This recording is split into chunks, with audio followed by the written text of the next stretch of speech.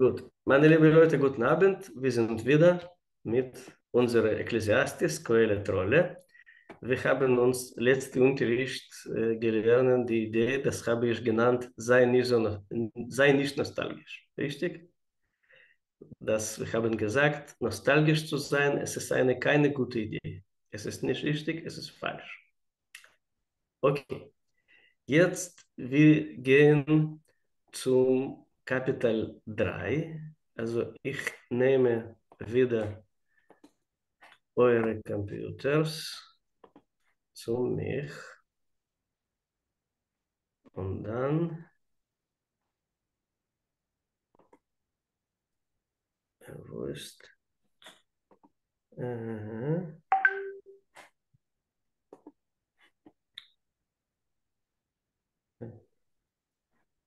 Wie kann ich nehmen? Ah, ja, hier. So. Okay. Gut. Dann, wir sind am Kapitel 3. Ja? Der Kapitel 3 ist sehr, sehr bekannt. Äh, und warum? Wissen Sie warum? Oder nicht? Moment. Ja? Moment. Ich habe gesagt, dass wir immer, immer verlesen diese Kapitel 3 an Beerdigungen. Mhm. Habe ich schon gesagt? Es ist Äh. nicht nur die jüdische Tradition, es ist sogar die äh, auch christlich-protestantische protestantische Tradition dass die viele auch, auch vorlesen, diese Kapitel 3. Ah, ja. Also ich wollte heute an unserem Unterricht eine Legende zerrissen, und nämlich, dass die Ekklesiastes Rolle ist eine melancholische und depressive Buch. Das ist überhaupt nicht so. Also, wie sagt man, einen Mythos äh, zerbrechen, ja? Es kann sein eine gute Mythos, eine böse Mythos. Ja, aber ich denke, es ist ein bisschen unzurecht, ja, dass die Leute denken, no, diese Ekklesiastes, wir sterben alle. Das wissen wir auch. also das quasi Zusammenfassen von diesem Buch, das ist komplett falsch. Aber doch lesen wir Kapitel 3. Alles hat seine Zeit, seine Zeit hat jedes Ding unter dem Himmel. Hier kann man zwei Punkte stellen. Also jetzt ist Erweiterung. Es ist eine bestimmte Zeit für das Gebären und für das Sterben. Eine Zeit für das Pflanzen und für das Ausreißen der Gepflanzten. Eine Zeit für das Erschlagen und für das Heilen. Eine Zeit für das Einreißen und für das Aufbauen. Eine Zeit zum Weinen und eine Zeit zum Lachen. Eine Zeit zum Klagen, eine Zeit und eine Zeit zum Tanzen. Also passen Sie auf, es ist nicht immer widersprüchlich. Ja? Klagen und Tanzen. Das ist nicht genau 180 Prozent widerspricht. Eine Zeit, um Steine äh, wegzuwerfen und eine, eine, um Steine aufzulesen. Eine Zeit, Prediger und zum Umarmen und eine Zeit, sich von Umarmungen fernzuhalten. Eine Zeit zum Aufsuchen und eine Zeit zum Verloren, verloren geben. Eine Zeit zum Aufbewahren und eine Zeit zum Wegwerfen. Eine Zeit zum Zerreißen und eine Zeit zum Helfen, Heften. Eine Zeit zum Schweigen und eine Zeit zum Reden. Oh. Eine Zeit zum Leben und eine Zeit zum Hassen. Eine Zeit Krieg zu führen und eine Zeit zum Frieden. Sehr, sehr aktuell heute. Well, okay, okay, stoppen wir jetzt. Stoppen wir jetzt. Also das ist die erste, das ist die erste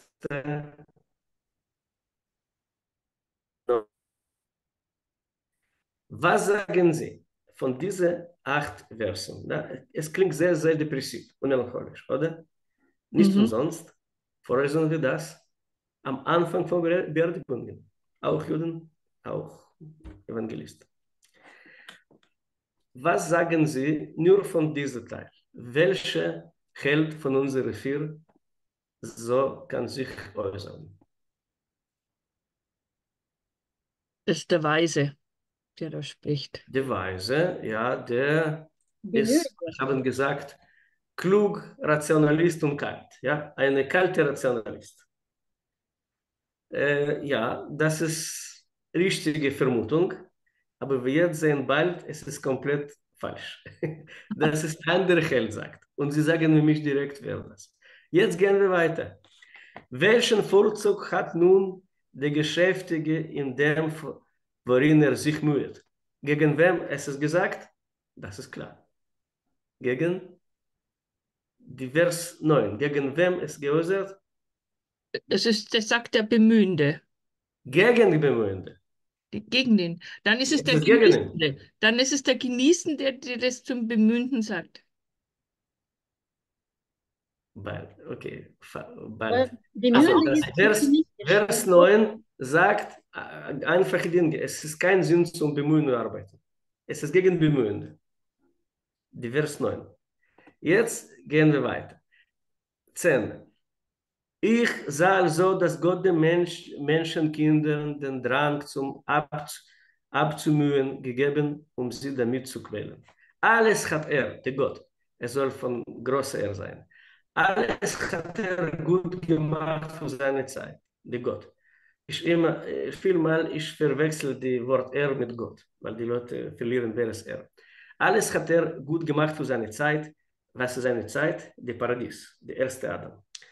Äh, gleichwohl hat er die Ewigkeit ihnen im Sinn gelegt. Genau die Idee, dass die Sterbe kommt als eine Strafe zum diese äh, Essen, die verbotene Frucht. Ja? Also die Ewigkeit ihnen in den Sinn gelegt, kein, Ster kein, kein Tod war, ohne dass der Mensch das der Werk, der Gott gemacht, Anfang nach Ende findet. Ich habe erkannt, dass es dabei nicht Besseres gibt, als sich zu freuen und Gutes zu erlangen während seines Lebens. Das ist die Antwort, wer spricht das? Das ist dann der Genießende. Richtig. Ich habe recht gesagt. Also die Kapital 3 bis gewisse Grenze, wir schauen wo, sagt Genießende, Genießer und nicht Weise. Wir müssen verstehen, was ist die Ideologie, was ist die Ideologie und die Glauben von dieser Genießer. Muss man verstehen. Und wenn wir, verstehen das, dann wir komplett rausschicken, dass diese Mythos und Legende und Märchen, das Ekklesiastes ein depressiv melancholisches Buch ist. Verstehen Sie? Okay. Aber auch das, der Mensch, der Mensch ist kein Kommentar, klar? Esse und trinke und Gutes genieße von seiner Mühe, dass alles eine Gabe Gottes sei. Opa. Mhm. Also, nach seinem Glauben, es ist nicht nur das darf man genießen von Essen und Trinken. Es ist nicht nur, dass es ein empfehlender Weg sich halten in das Leben. Es ist sogar eine Gottes Geschenk. Verstehen Sie? Mhm. In, andere, in andere Worte, Gottes Geschenk heißt auf jüdische Sprache Mitzvah, eine Pflicht. Mhm. Ja?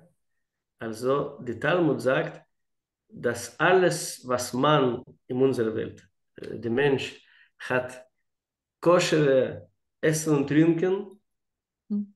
nicht genommen, er wird bestraft. Mhm. nicht, nicht weniger. Also das meint nicht, Talmud meint nicht, das muss man nur essen und trinken. Aber wenn hat man eine Gelegenheit, etwa koscher essen und trinken und hat verpassen, dass quasi Mensch eine gotteste Geschenk ablehnt. Das ist die Idee. Mhm. Also essen und trinken und genießen. Passen Sie auf, nicht nur essen und trinken als, ja. Esse und trinke und Gutes genieße. Mhm. aber genieße auch von seiner Mühe. Das ist schon Bemühen der Arbeitenden, oder?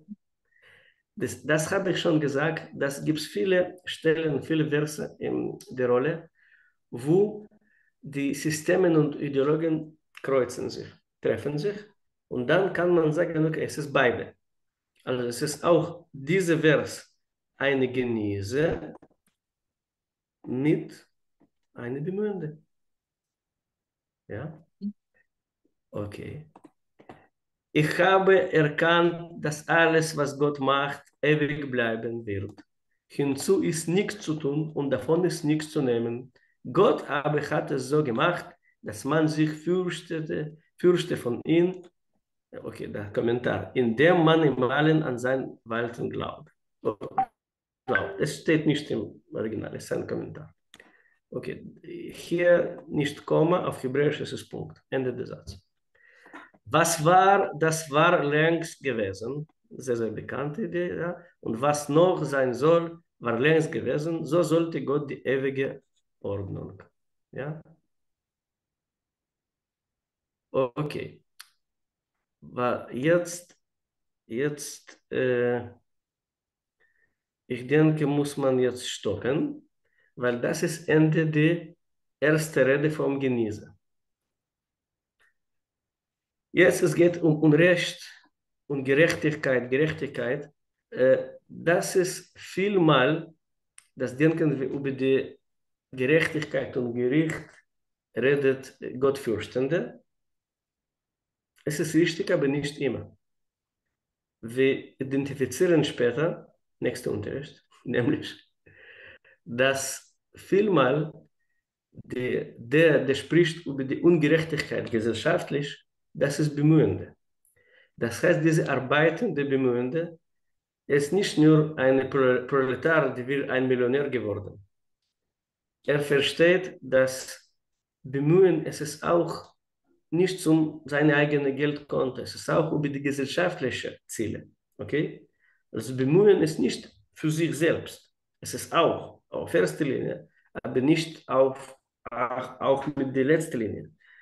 Also Bemühende, er bemüht auch auf seine Arbeit, auch, auch als Volontär oder ich weiß nicht was, äh, Parlamentmitglied, äh, da und dort, ja, auch eine Mühe für die ganze Land, die ganze Stadt, die ganze Gesellschaft. Okay, also wir stoppen jetzt ja, mit Vers 5 und ich sage euch, das ist die Rede vom genieße. Hm? Ich habe gesagt, das Genießende, es ist eine, er ist ein Optimist, oder?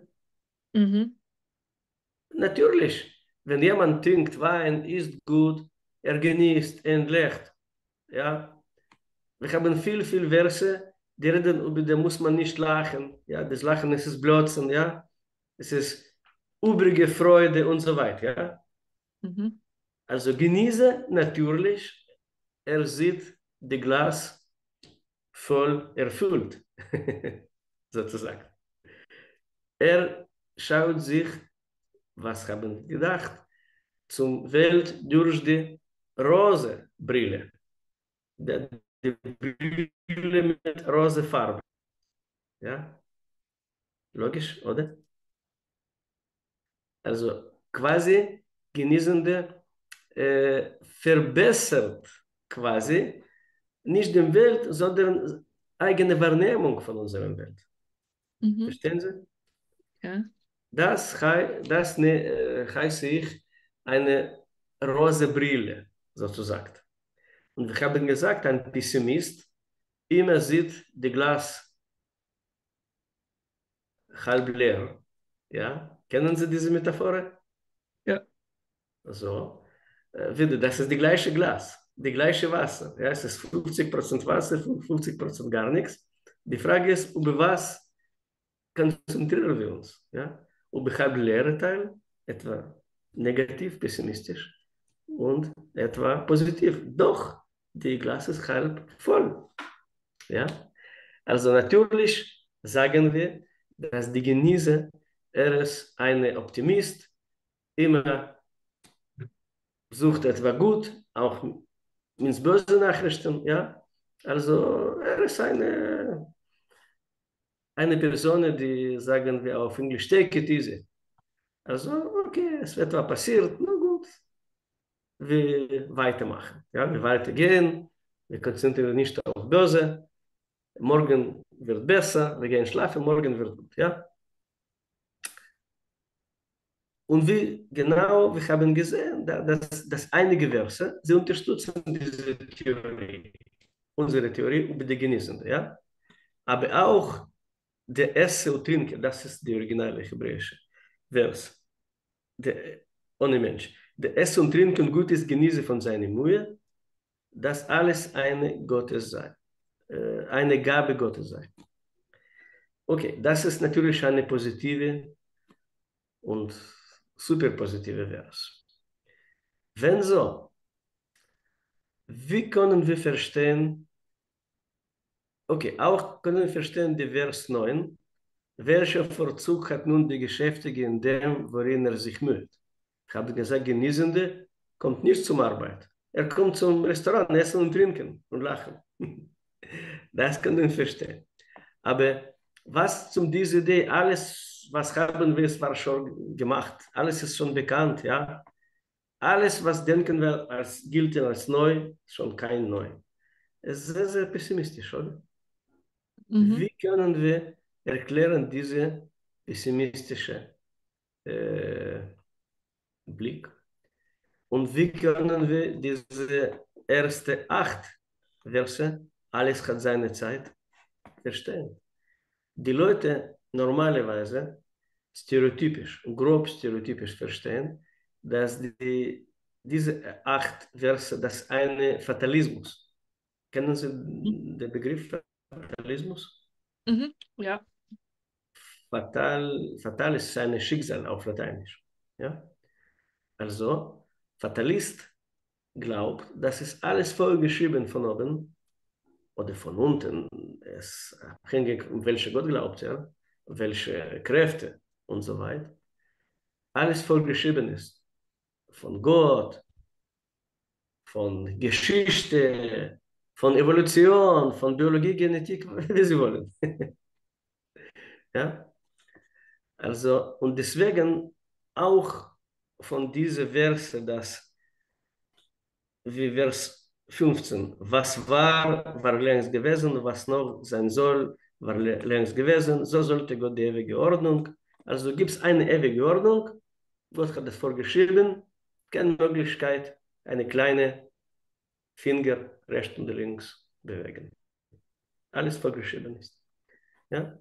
Und natürlich diese acht Verse, sie auch verstärken die Idee, dass es ein Fatalist. Und doch, es ist falsch. Ich sage, das ist Genießende. Eine gute, optimistische Person mit einer, mit einer Lachen auf dem Lippen. Ja? Mhm. Nun, jetzt probieren Sie diese logische Widerspruch erlösen. Wie kann man das also, konstruieren logisch? Also, also jetzt, und ich nehme als Vers 2. Es gibt eine Zeit für das Gebären und eins fürs Sterben. Man kann nur sterben, wenn man geboren wurde. Dazwischen drin liegt die Zeit des Genießens. Eine Zeit für das Pflanzen und für das Ausreißen des Gepflanzten. Also, wenn ich Essen haben will, muss ich pflanzen, dann kann ich ernten und dann muss ich das Gepflanzte ausreißen. Oder ich muss auch jäten, um, um den Pflanzen, die ich haben will, Luft zu verschaffen. Also ich muss immer erst etwas, ich, also so, eine Zeit für, eine, für das Erschlagen und für das Heilen. Genau, ich kann nur heilen, wenn ich vorher geschlagen habe. Also es ist jetzt sehr, sehr, also es, es ist, wenn ich eingerissen habe, dann kann ich hinterher auch wieder aufbauen. Vielleicht was muss es eingerissen werden. Also es, ist, es sind immer ja zwei Punkte und ich kann es natürlich als fatalistisch sehen, aber ich kann es auch sehen, immer, dass immer was das Negative auch eine Chance ist und dass das Negative eigentlich zum Beispiel bei Gebären und Sterben erst einmal das, das Gebären braucht. Also Sie lernen von diesen zwei widersprüchlichen Möglichkeiten, das gibt es etwa dazwischen, ja, mhm. und das ist schon gut. Also Sie sind eine positive Genießer, ja, das Schauen mit rose Brille, mit rose Glas sozusagen. Und sie haben, ja, gibt es das Sterben in der Welt, aber doch, vor dem Sterben gibt es viele, viele gute Dinge. Es ist wichtig, dass auch König David im Psalmen formuliert, diese Idee heißt, Elulei kamti, äh, Elulei nafalti lo kamti. Äh, wäre ich nicht gefallen, würde ich nicht rauskommen, aufstehen. Das ist die Idee. Ja? Also kann man konzentrieren sich auf dem Fallen. Ich habe niedrig gefallen. Die König David konzentriert sich aber auf Aufstehen. Ja? Und zum Aufstehen muss man manchmal niedrig fallen. Also das ist eine, natürlich eine richtige Idee, eine sehr, sehr tiefe Idee.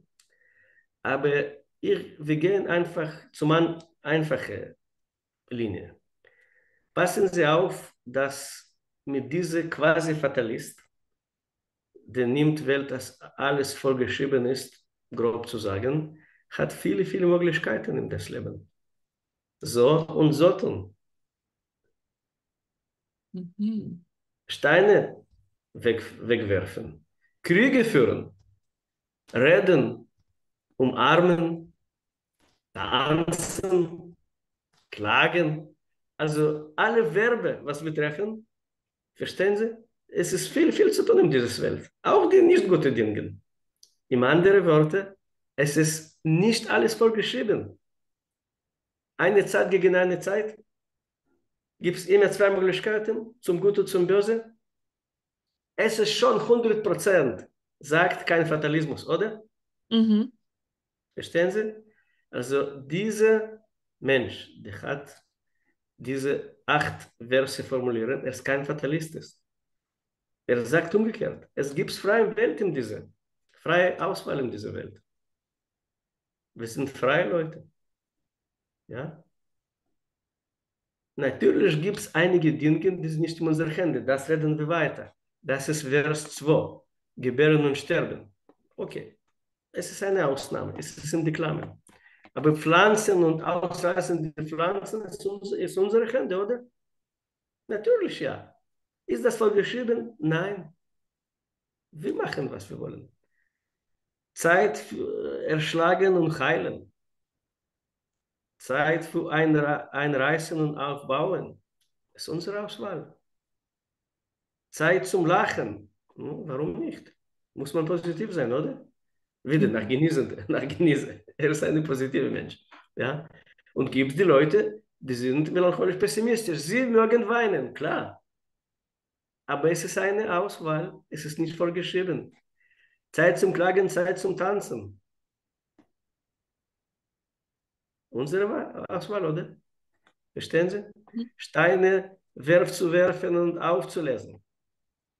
Zeit zum Predigen, ja, Zeit zum Umarmen und Zeit zum Umarmen fernzuhalten und so weiter und so fort.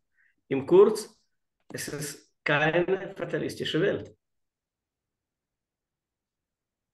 Im Deklamen, wenn es ist nicht fatalistische Welt und wir haben die Möglichkeit, fast alles, was sie meinen zu tun, auch nicht gute Dinge zum Welt bringen, Krieg führen. Ja, wo ist die Kriege?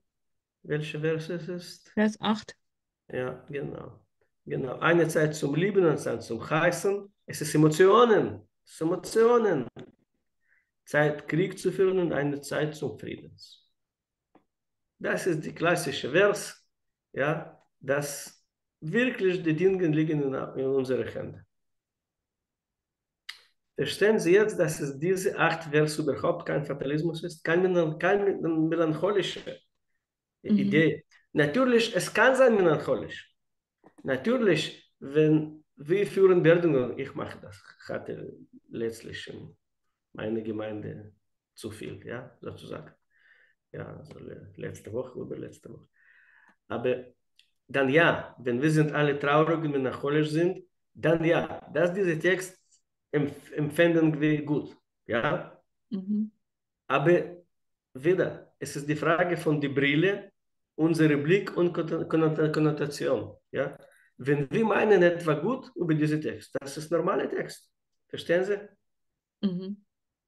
Jetzt grob zum Entdecken die Glaube von Genießer.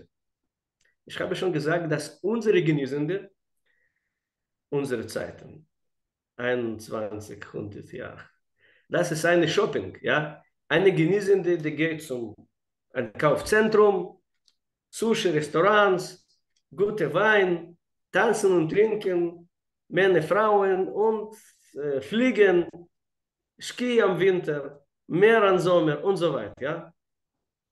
Ich habe viel, viel gehört, ich mache keine Kinder, weil es stört zum Genießen. Ich habe gesagt, ich habe mehr von ein, zwei Kindern und ich genieße damit. Ich fliege mit meinen alle Kindern zum Meer und zum Ski. Ich mache das, wirklich. Sie glauben mich. Ich habe diese, mit Gottes Hilfe, diese Sommer auch Urlaub. Die Kinder. Also, es stört nicht, mindestens. Ja? Also, das ist unsere Genießende, ja, das wir kennen, ja, und das ist keine Genieße vom König Salomo und Ekklesiastes Rolle. Warum? Der Grund ist folgendes. Die Genieße von König Salomo, es ist eine gottgläubige Genieße. Er nimmt in seiner Welt und seinen Werten und seine Rechnung eine Gott. Mhm. Alles hat seine Zeit, seine Zeit hat jedes Ding unter dem Himmel. Unter dem Himmel, Himmel ist ein Gottesbegriff. Ja? Also, und er beendet diese acht Verse, ja, dass alles, was äh, äh, Vers 10, ich sah also, dass Gott dem Menschen, Kinder, die Ding, sich abzumühen gegeben und sich damit zu quälen. Ja? Also, dass unsere Genieße, es ist gottgläubige Genieße. Es ist nicht Genieße zum Essen und Trinken.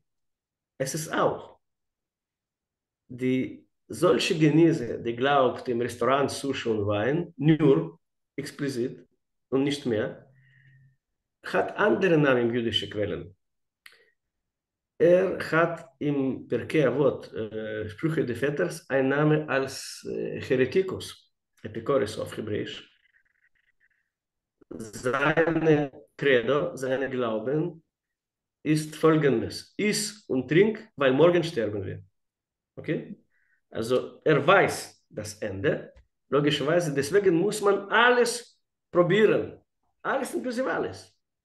Spirituose, Drogen, alle böse Dinge muss man alles probieren. Kennen Sie solche Ideen? Mhm. Wir kennen solche Leute, natürlich. Das ist unsere Zeit, sozusagen äh, radikale Genießende. Die, die Gesellschaft und kriminelle Gesetze unterstützen das nicht, sozusagen. Ja? Kriminelle Grenzen. Aber die jüdische Genieße oder klassische Genieße, das ist jemand komplett anderer. Diese Genieße, er versteht seine eigenen Grenzen. Und er akzeptiert das Idee, das gibt es etwa oben uns. Wie hat er gesagt? Unter dem Himmel. Okay? Also diese Genieße ist sehr, sehr bewusst über seine Grenzen. Und deswegen sagte er, muss man essen, trinken und genießen. Nicht, weil wir sterben morgen. Das ist nicht die Gründe. Die Gründe ist, dass erstens Gott hat so geschafft, Essen und Trinken, das ist ein gottestes Geschenk muss man das nutzen und nicht abblenden. Ich habe schon diese Idee gesagt in Talmud damals.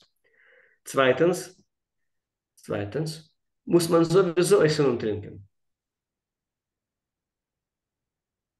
Wenn muss man sowieso essen und trinken, dann kann man mit Lachen und rosa Brille das durchführen, oder? Wir sowieso essen und trinken. Dann mindestens, du kannst auch genießen. Es verbessert deine Laune. Aber prinzipielle Idee beim Genießen ist es folgendes. Er widerspricht die Arbeitende, Bemühende. Ja, das ist Vers 9. Welchen Vorzug hat nun der Geschäftige in dem, worin er sich müht? Also, rhetorische Frage. Er meint keine Vorzug, oder? Was meint er? Genießen, unsere genießen, unsere gläubige genießen, unsere klassische genießen. Ja? dass du kannst arbeiten bis morgen mit ganzem Kraft. Wenn es Zeit zum Krieg, es hilft nicht. Okay? Also unsere gläubige Genießer, er kann seine Kanten, seine Grenzen. Ich kenne jemand, eine reiche Businessman, die hat gegründet eine, ein Imperium, ein Netz von über 300 Restaurants. Okay? Er war reicher Mensch. Und warum war? Er hat in der Ukraine gelebt und mit dem Krieg ganze seine Werk von seinem Leben ist zerstört. Mhm. Okay? Und das ist genau, was Genieße meint. Du kannst arbeiten und schwer. Und dann kommt Zeit, der Krieg, alles kaputt ist. Ja? Es ist sehr, sehr tut weh. Es ist ein mein Freund, ja. Heute flüchtend. Ja?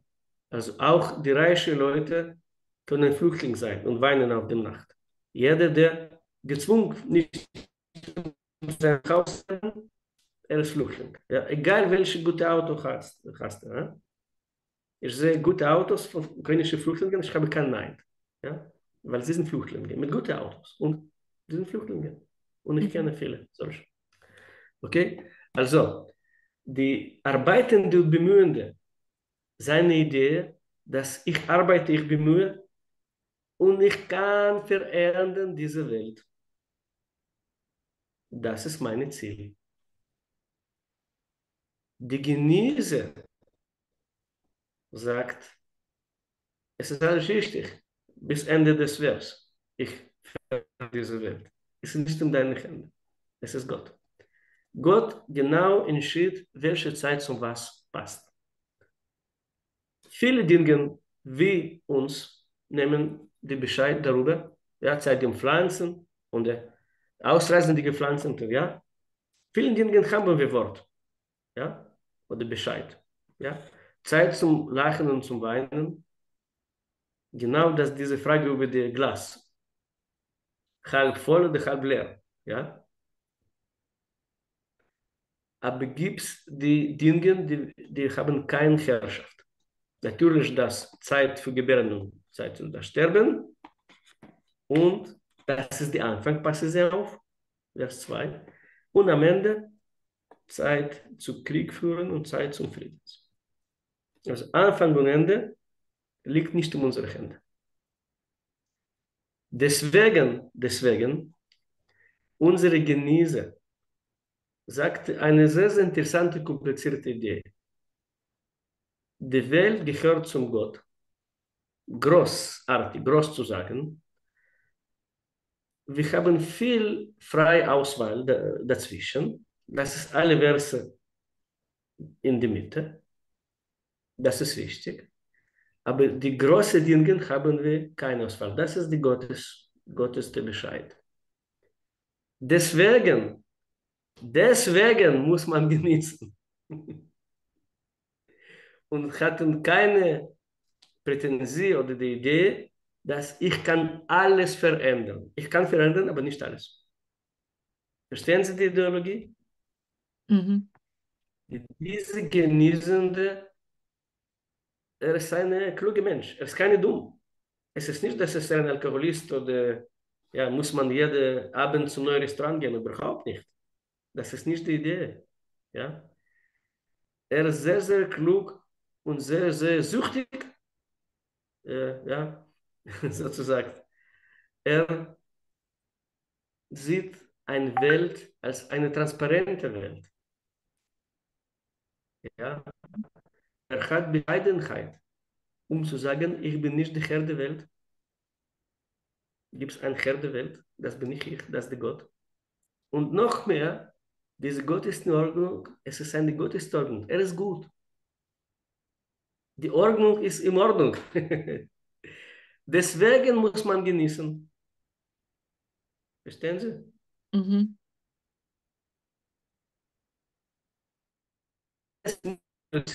Und die Welt ist ewig, wie klassische atheistische Idee, dann die Gott gehört zum Gott, zu meiner Gott Schaffung der Welt. Und dann es ist nicht umsonst. Ja, die Talmud sagt, die Gott hat die Welt geschafft, dass wir sind, die Menschen, sollen von dieser Welt genießen. Ich sage euch, es ist eine kabbalistische Idee von Zohar. Kabbalistische Idee, die tiefste Niveau der Torah. Die geheimste und tiefste Niveau sagt genau die genießende Idee. Mhm. Muss man genießen von dieser Welt. Okay? Mhm. Also, das unsere Genießende, das ist nicht, was sie haben gedacht. Ja? Mhm. Nicht, was sie haben gedacht. Jemand, der nur seinen Bauch und seine Augen und seine Hörer bringt zum Genießen. Ja? Also seine Augen ist etwa neu sehen, einen Film schauen, einen Ausflug fliegen, die Ohren ist es neue Musik, neue Kunst entdecken, ja, und so weiter. Es ist auch, aber äh, Genießende mag das von ideologischen Gründen. Die Welt ist Gott ist die Welt. Alles, was es gesch äh, geschuft ist, ist nicht umsonst geschuft. Nicht, nicht alles muss man probieren im Sinn spirituösen Drogen. Aber muss man verstehen, genau das ist die gotteste Welt. Wir haben viel, viel zum Wort zu kommen in dieser Welt und die kritischen Themen, wo haben wir kein Wort. Also seine Auswahl und genießen, es ist nicht eine Auswahl, ich habe keine andere Idee, ja. Ich bin so hilflos, ja, ich bin so klein, ich bin eine Marionette, dann okay, essen und trinken, no? was ist geblieben bei uns. Ja, kennen Sie solche? Mhm. Diese Idee, Rav Kuk, Rabbiner Kuk, die, die Vater, die große Rabbiner Kuk beschreibt am Anfang 20. Jahrhundert, als die äh, neue wissenschaftliche Explosion, ja, die in, in Einstein mit seiner Theorie, ja, und viele Entdeckungen und dann die Astronomie, Physik und so weiter. Und dann die Leute haben gesagt, alles, was uns die Kirche hat gelernt, das ist falsch. Damals, Ende 19. Jahrhundert, Anfang 20. Jahrhundert, Millionen wurden rausgelaufen von Kirche, auch teilweise von Synagoge. Und die Leute haben gesagt, wir sind so klein, unsere Welt es ist ein Univers, eine All. Ja? Die Planeten, die Sterne, ja? die, diese riesigen Dinosaurier, die haben wir entdeckt. Der Mensch ist so klein, auch physisch, auch in der Zeit, was es unser Leben ist, relativ zu Millionen, Milliarden Jahre alt. Und dann, wir sind nichts, wir sind gar nichts, wir sind null. Das war auch die Zeit zum viele Suiziden. Damals, erstes Mal als eine kollektive Phänomen. Und dann, die Rabbiner Cook hat das identifiziert und sagt, das ist überhaupt nicht so. Wir sind große Menschen in dieser Welt. Haben eine riesige Rolle in dieser Welt. Wir müssen als Rabbiner für die Leute erklären, dass trotz der physischen Realität wir sind im Zentrum des Universums. Die Talmud bringt eine berühmte Midrash und fragt, warum hatte Gott der erste Adam hat allein geschuft? Talmud meint, warum es wurde nicht zwei, Männer, hundert, ein Million zusammen? Warum nur ein? Gibt es viele Antworten zu dieser Frage, viele Midrashim. Aber bezüglich unserer Probleme, dass wir sind null, wir sind so klein, Talmud beantwortet, wissen Sie warum? Dass jeder Mensch muss sagen, für mich die Welt ist geschuft. Hm? Schon? Mich diese Welt ist geschuft. Nicht im egoistischen Sinn, die ganze Welt muss mich bedienen. ich bin in der Mitte dieser Welt. Nein, nicht in diesem Sinn. Gibt es wirklich die Leute, die glauben, dass die ganze Welt sind Sklaven, äh, vielleicht nicht juristisch, aber tatsächlich, ja? Die ganze Welt soll bedienen diese Leute. Das ist falsch, das ist Egoismus. Aber Midrash meint, dass die Welt geschaffen zu uns, wir sind die Könige dieser Welt, wir haben viele, viele Kräfte und viele, viele Verantwortungen über diese Welt. Okay? Also, kein Platz für Pessimismus. wir sind die Könige dieser Welt, die Menschen. Und jeder, jeder Menschenkind soll, muss nach dieser talmudischen Passage sagen, für mich die Welt geschaffen ist. Ja? Also, das ist wieder eine optimistische Blick. Ja? Auch mit einer Kenntnis zum viel, viel Verantwortung über diese Welt. Ja? Aber für mich die Welt genießen, äh, geschafft ist, auch trägt ein Aspekt, wenn für mich, das darf man genießen, oder? Mhm. Für mich die Welt geschafft ist, dann ich nehme die Trauben, ich nehme die Bananen, ich nehme die Kartoffeln, ja, und ich mache weiß nicht was von diesem Essen. Ich koche. Ich nehme Spargel und koche, okay? Mhm. Sage nicht, äh, ja, das, was McDonalds nimmt, ja, aber okay. Wir reden über die gesundheitliche Essen. Ja? Also, äh, verstehen Sie jetzt vielleicht besser diese Genießer? Mhm. Okay. Also die Genießer kann sein, er ist nicht getrunken von seinem Kraft, ja, für mich die Welt gestuft ist. Ja, er weiß seine Grenzen, wie gesagt. Das ist Anfang und Ende der Rede. Aber er weiß, dass es unterschiedliche Zeiten und er akzeptiert diese Zeiten. Also Genießer akzeptiert unseres Lebens großartig. Ja? Er akzeptiert Zeit zu gebären und zu sterben, Zeit Kriege, für Krieg und Frieden. Ja? Er akzeptiert, dass gibt die äh, Ideen oder Aspekte, dass die Gott weiß besser von uns. Er akzeptiert, dass er ist in der Mitte der Welt aber doch, er weiß nicht alles. Er hat keine Idee, dass er es weiß. Und er ist nicht dumm. Er ist nicht dumm, dieser Genießende, ja? Also kann man sagen, dass diese Genießer trotzdem Essen und Trinken und Wein, er ist auch Rationalist. Und er ist nicht melancholisch und nicht depressiv. Mhm. Er nimmt das mit Freude. Diese acht Verse, Trotzdem, dass wir vorlesen das an Beerdigungen. Und deswegen unsere Konnotation zum etwas Böse. Dass wir, als wir verlieren jemanden, dann, wir trosten uns mit diesen Verse. Genießende, wir haben gesagt, er nimmt das mit Freude. Er nimmt das gut. So ist gut. Der Glas ist halb voll. Der Gott hat das Glas die Wasser und halb voll geschuft. Mhm. Und als ich verstehe das, das gibt mir besser. Mhm.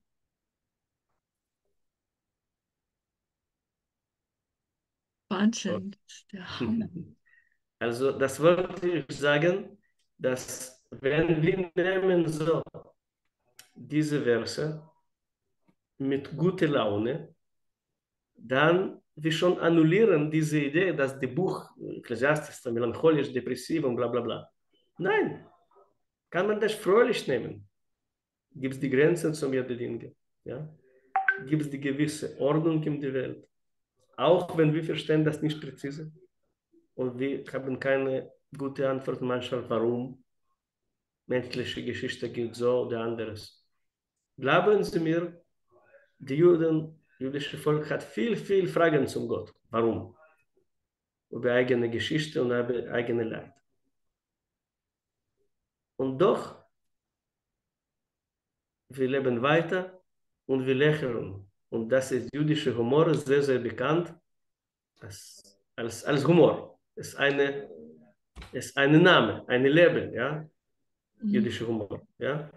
Die Leute manchmal eingeschrieben zum jüdischen Humor, viele, viele denken, die sind keine jüdisch, aber doch, das ist ein Humor. Andere Witze, italienische Witze und so weiter. Die Leute alles adressieren als jüdischer Humor. Aber ich sage euch, die Juden, trotzdem alle Schwierigkeiten und unsere moderne Geschichte, wir doch weitergehen, weiterleben und wir lächeln. Okay? Gibt es sogar die, ich weiß nicht, was zu sagen, das, die Witze und Anekdote über die Shoah, sogenannte schwarze Humor. Verstehen Sie? Gibt es auch schwarze Humor, solche Witze beim Juden, ja. Über die Shoah, über die Nazis, über die KZs. Ja? Wenn wir sind, werden nur traurig, nur ernst und seriös, kann man nicht leben. Kann man nicht überleben. Verstehen Sie? Wenn die Juden würden nur seriös, ja, es, du hast keine Chance. Deswegen trotzdem dieses Krieg, jetzt schon im Israel, schon über zwei, fast 300 Tage, wir leben weiter. Und wir machen Witze, auch für unsere heutzutage Situation, über den Krieg mit Gaza und was ist passiert morgen mit nächster Krieg und ne übernächster Krieg. Ja? Also wir verstehen, dass es nicht alles in unsere Hände und doch durch den Krieg, wir probieren uns ein bisschen oder viel genießen von dieser Welt. Es widerspricht nicht. Also muss man trotzdem alle Schwierigkeiten und auch schwere, schwierige Zeiten wie heute doch genießen diese Welt. Das ist meine Botschaft.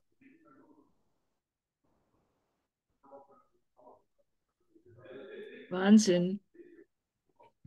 Mhm. Also das, ich habe das noch nie so gesehen. Äh, ich liebe eigentlich, mag eigentlich den, das Buch Kohelet wahnsinnig gern, aber dieser Aspekt, das ist der absolute Hammer. Also es, es, es macht mich einfach sprachlos. Also es ist, ist total sprachlos. Man, kennt den Text. Also ich meine, es dürfte, dürfte eins der, der, wie gesagt, das ist der bekannteste Teil aus dem, aus, aus dem Prediger. Und jeder, und hier sagt, es gibt da eine Zeit und da, aber äh, dass es eigentlich so ein Rahmen ist und innerhalb dieser Zeit haben wir die freie Wahl und ähm, es gibt keinen Grund, Trübsal zu blasen.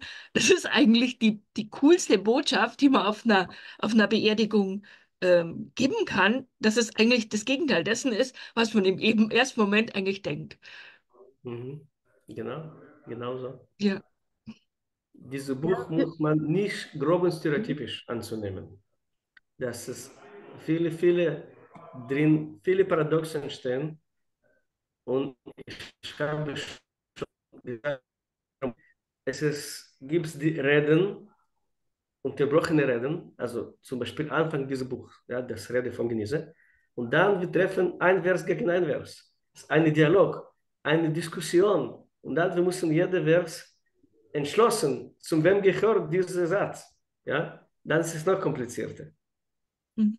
Aber natürlich, natürlich, natürlich, äh, dass dieser Teil um Genießen der Welt, es ist sehr, sehr jüdisch. Sehr, Mhm. sehr jüdisch. Ja?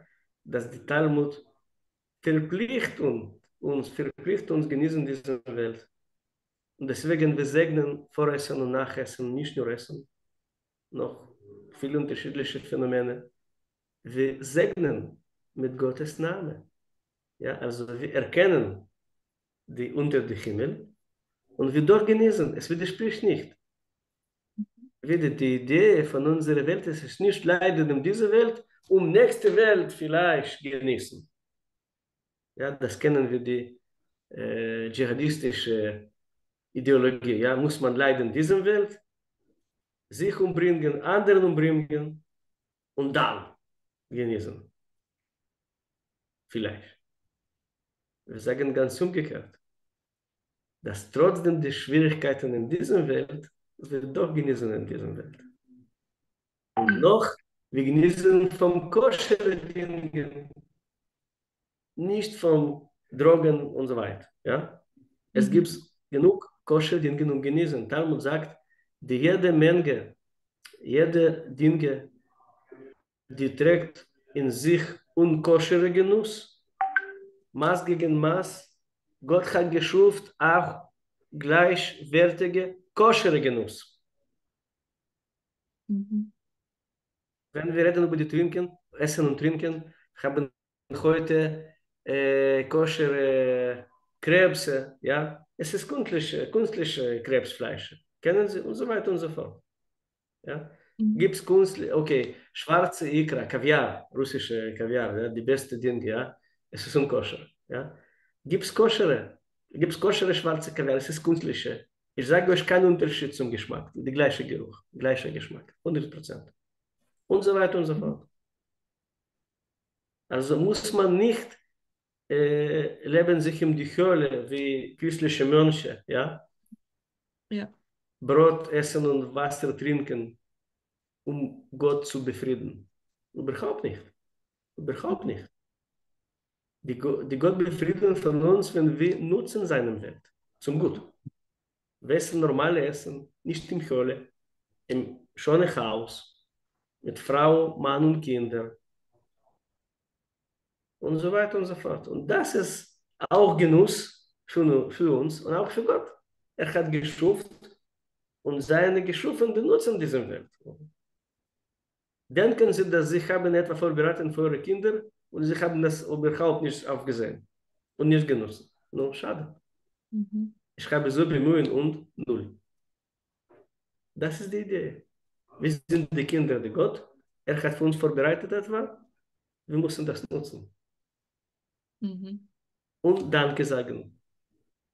Und alles zusammen bringt uns zum Genuss. Aus geistlicher Genuss, auch physischer Genuss. Es ist keine böse Dinge um physische Genuss. Wer sagt, dass nur die geistliche Genuss, das ist die beste? Überhaupt nichts. Wir vermeiden uns nicht von physischer Genuss, absichtlich.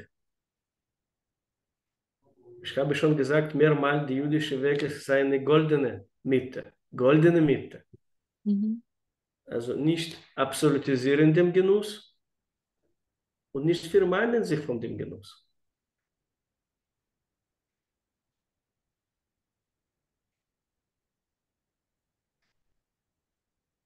So. Mhm.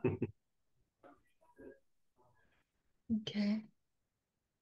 Ich möchte sagen, dass es für mich auch äh, die ganze Gedanken oder die alle Gedanken äh, war sehr interessant und ich habe das niemals so gelesen und niemals gehört, ja, obwohl ich schon das mehrere Prediger gehört habe, aber das war für mich auch sehr interessant und ich finde schon, dass so viele Perlen gibt es schon in, in jedem Buch, Ja, ja. ja.